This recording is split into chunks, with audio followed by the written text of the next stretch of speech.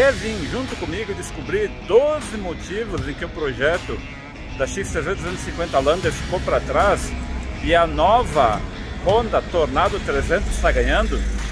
Vem com o tio, vamos descobrir.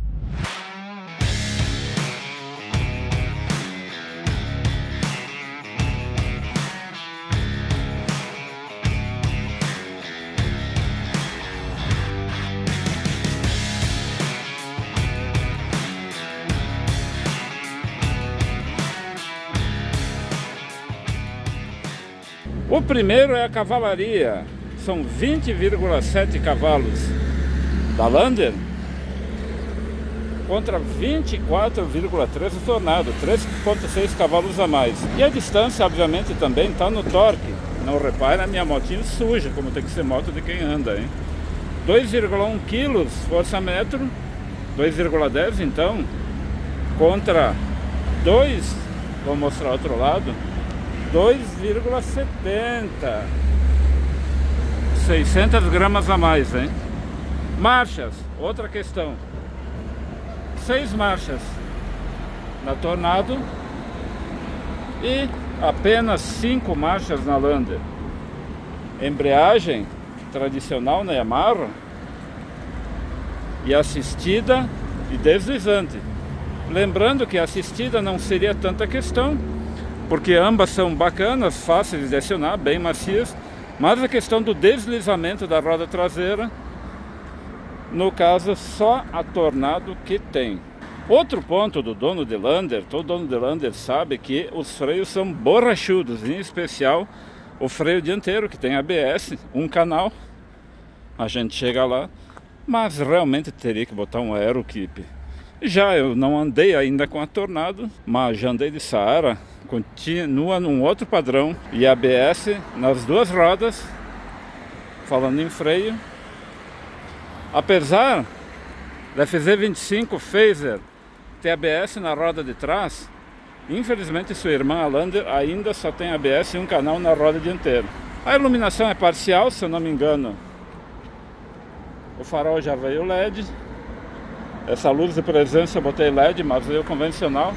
E eu acredito que a lanterna traseira também vem em LED. Mas piscas, piscas convencionais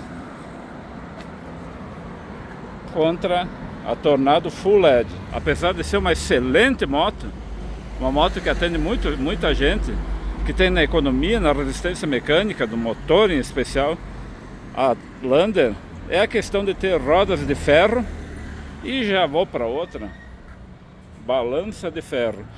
Enquanto na Tornado a gente tem rodas da Didi em alumínio e a balança também ambas com multiregulagens mas também em alumínio na Tornado outro item que mostra a idade do projeto da Lander é o painel. No caso, um painel antigo, na cor laranja, numa visualização um pouco complicada, com os números pequenos, versus o painel digital colorido da Tornado, com o indicador de marchas, coisas que a Lander não tem, nível de luminosidade também, uma melhor leitura dos instrumentos e um visual que valoriza muito mais a moto. Na questão de preço, infelizmente a Yamaha, que vendia 26 mil não faz muito tempo, a XTZ 250 Lander, projeto 2020, a minha é 21, ela, como a XRE saiu de linha, já comentei muito isso, respondendo os comentários lá no Tamioso Moto, lá na, nas dúvidas que o pessoal deixa, é que infelizmente a Yamaha andou aumentando muito e estão vendendo XTV 250 Lander a 30, 32 mil. Aí eu deixo para você a pergunta, se você vai pagar 30, 32 mil por uma moto igual a essa, que foi colocada apenas, essa não tem, as sanfonas, você pagaria 28, 30, 32, aliás, ou pagaria 34, 35 da XR 300L Tornado. Infelizmente, um projeto muito bom, que já deu o que tinha que dar, e um projeto interessante que poderia estar com preço melhor, ainda na Honda, podia estar aqueles 26, 27 do preço sugerido, hein? Deixa seu like, vem com o tio Lu, marca o sininho para novos vídeos. Valeu!